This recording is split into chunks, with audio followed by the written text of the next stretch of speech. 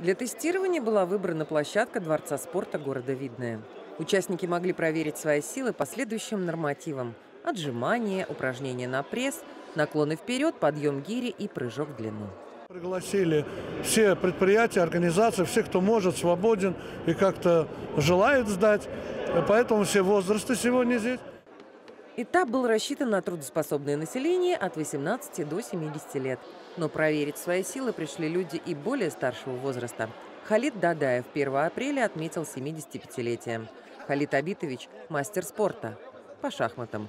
Вместо нормы 8 отжиманий для своего возраста выполнил 13. Гимнастика по утрам, правильное питание, не курю, не, не пью там алкоголь. Ну, так правильный образ жизни вести.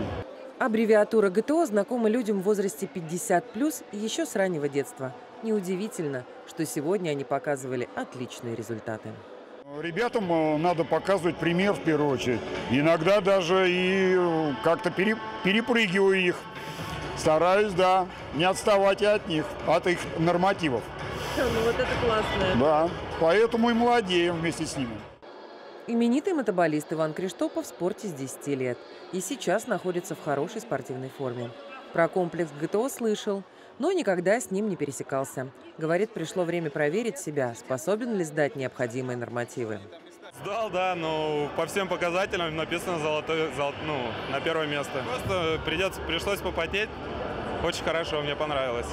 Сдать нормы ГТО можно и в любой другой день. Необходимо зарегистрироваться на портале gto.ru и прийти в центр тестирования, который расположен во Дворце спорта города Видное.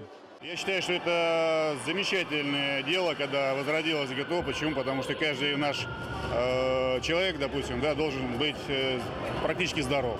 А это оздоравливает нацию, это нужно стремиться к лучшему. Человек за этим следит, это, это полезное дело. Елена Бабина, Евгений Петров, Екатерина Чернышова, Видное ТВ.